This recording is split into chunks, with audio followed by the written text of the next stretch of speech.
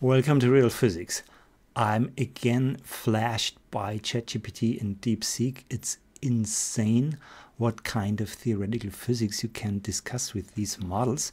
And well, I just give you a little example and to give you a little bit of context, we're talking about Maxwell equations here. And you see uh, this one in the middle there is the conservation of charge, for example. Then you have electromagnetic waves in the first equation here, and also in the um, third one. And here's the famous term Maxwell added that the, the change of an electric field is equivalent to an electric current, and then you have the curl-free magnetic field. So this is all well known. And you know, I'm a fan of variable speed of light because it's a very interesting idea of Einstein in 1911 how to formulate general relativity. And you can formulate general relativity in terms of variable speed of light. But as a little sideline, the problem arises how to deal with variable speed of light in Maxwell's equations here. But this is a problem. And it's one of the favorite things I wreck my head around. And yeah, just see what happens here. I ask the question, it's a very short question to ChatGPT. I have a theoretical physics problem for you. Variable relativity, oh sorry, I even messed this up, can be formulated with variable speed of light as Einstein had already proposed in 1911. However, let's take that for granted. We should not debate that. I wonder what impact this has on electrodynamics. If the speed of light depends on space and time, Maxwell's equations must be altered. Can you propose a reasonable or simple way to do that? And now he thinks for ChatGPT, thinks for 14 seconds and really grasps the problem and sees what's to be done and formulates um, the speed of light uh, with the electric and magnetic constants. Uh, everything is time and space dependent.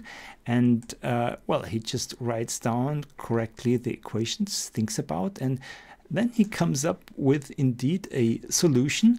I also proposed then, back then, let's see here, I said, okay, we have this mess created by variable speed of light, but the most simple solution would be that one.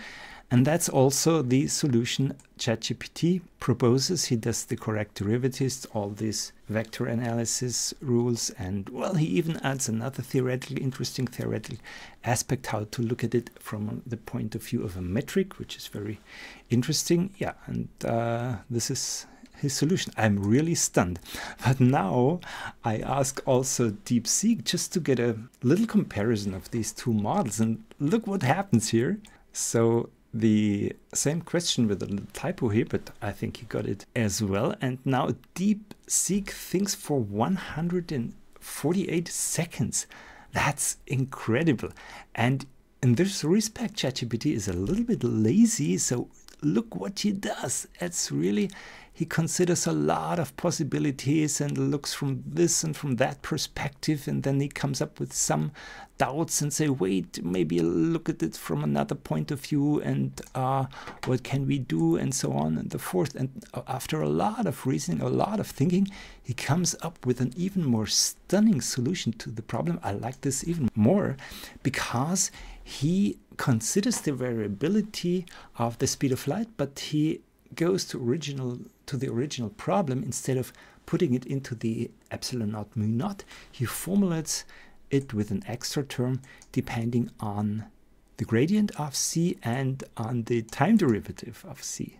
Yeah this is really insane and i'm uh, impressed by the result but also by the thinking process. It's a little pity that he doesn't write the formulas well here because at the mobile phone at the app it works but it's really stunning what capabilities these models have. And uh, yes, I think we very soon gonna have really serious theoretical physics discussions with these models. And of course, uh, much of contemporary physics, I think, is misguided and we haven't understood a lot of things yet. So I will be pushing the boundaries and trying to extend theories, trying to discuss new theories. And if you're interested in fundamental physics, this channel is for you. If you enjoyed the video, don't forget to like it.